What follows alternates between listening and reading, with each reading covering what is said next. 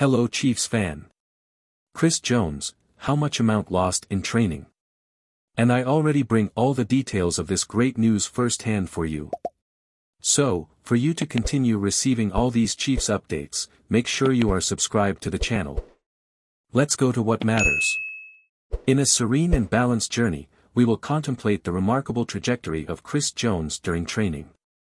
This true master of the defensive line for the harmonious Kansas City Chiefs lifted the team to an NFL low.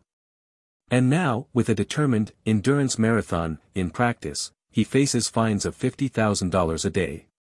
A story that invites us to reflect on serenity in the midst of challenges.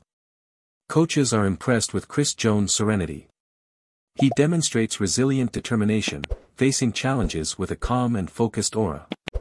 The fines may seem like waves on a calm sea, but Jones maintains his composure, aware that every choice brings lessons and opportunities to grow on the training ground.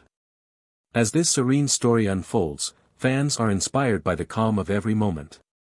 The fortune that Chris Jones can amass in the 2023 season teaches us that serenity is a path to achieving balance and success.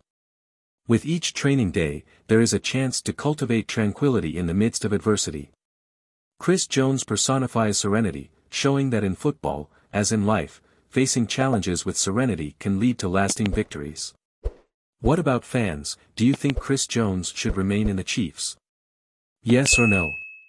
Leave your opinion in the comments below and let's discuss about this subject, because this is very important for Chiefs.